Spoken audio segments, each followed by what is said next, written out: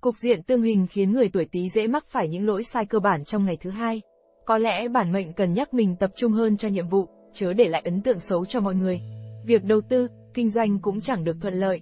Bản mệnh luôn bị kẻ xấu tìm cách ngáng đường, khiến những công việc quen thuộc cũng trở nên khó khăn hơn hẳn. Con giáp này cần phải hết sức bình tĩnh để đối diện giải quyết vấn đề.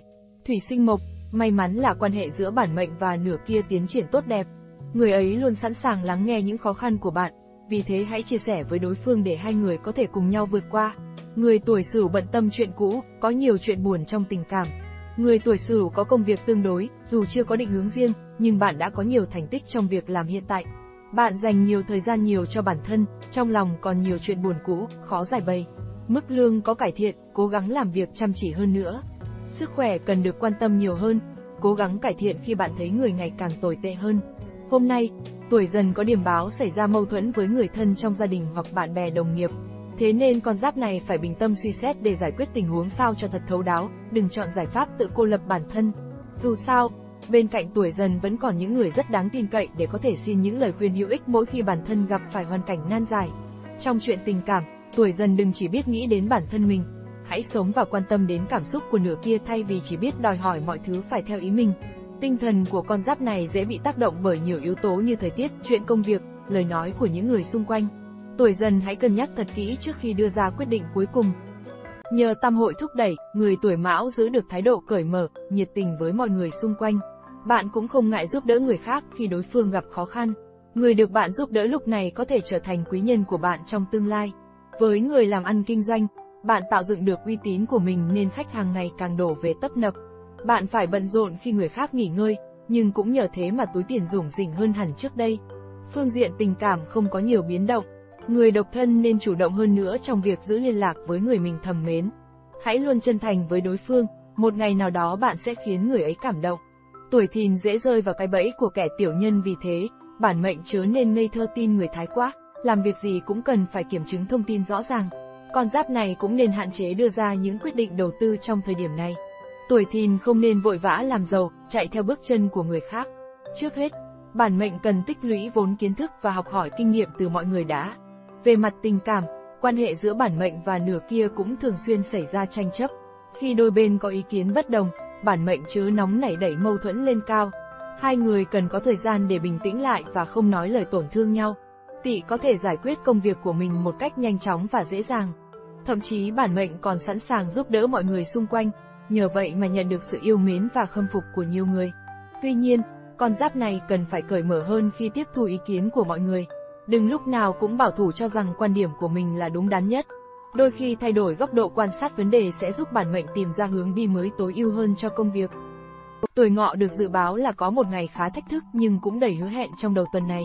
Các bạn tuổi ngọ được hứa hẹn sẽ có may mắn ở trong một môi trường hợp tác và giao tiếp tốt.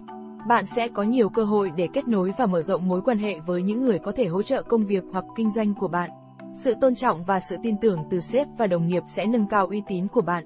Hãy sẵn sàng tham gia vào các dự án hoặc hợp đồng lớn và biết cách giao tiếp và hợp tác một cách chuyên nghiệp. Các bạn tuổi ngọ và người yêu sẽ cùng hưởng những khoảnh khắc ngọt ngào và đáng nhớ trong cuộc sống. Sự quyến rũ và đam mê sẽ đắm chìm hai bạn. Để duy trì mối quan hệ tốt đẹp, hãy biết bày tỏ và làm hài lòng người yêu. Đối với những người độc thân, ngày này có thể mang lại cơ hội gặp gỡ người bạn mong đợi hoặc có duyên. Tử vi thứ hai ngày 18 tháng 9 cho thấy bạn có thể thu được nhiều tiền bạc từ công việc hoặc kinh doanh của mình. Đôi khi bạn còn có cơ hội trúng số hoặc nhận quà tặng tiền bạc từ người thân hoặc bạn bè. Hãy biết quản lý và đầu tư tiền bạc hiệu quả và thông minh để tạo thêm cơ hội tài chính. Quý nhân nâng đỡ, các khía cạnh trong công việc của người tuổi mùi đều được thực hiện dễ dàng mang lại nguồn thu nhập lớn cho bản mệnh.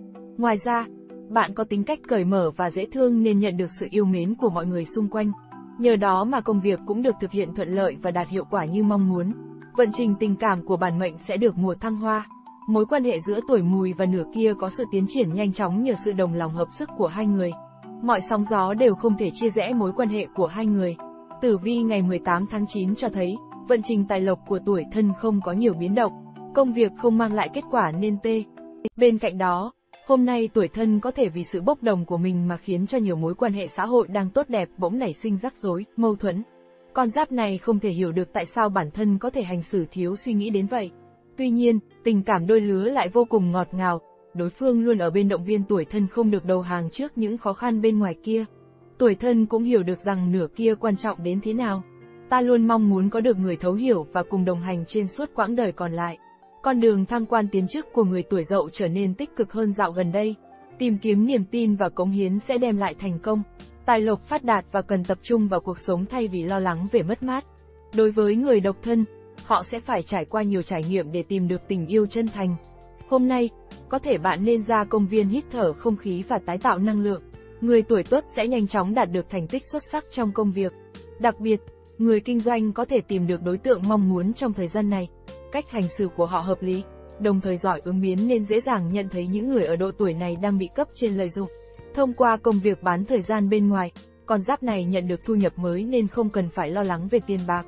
Hơn nữa, đời sống tình cảm của cung hoàng đạo này cũng khá lãng mạn và ấm áp. Những người độc thân dường như tìm được người thân thiết và có thể cả hai đều hiểu nhau từ những điều nhỏ nhặt nhất. Ngoài ra, những người đã lập gia đình có cuộc hôn nhân viên mãn và hạnh phúc.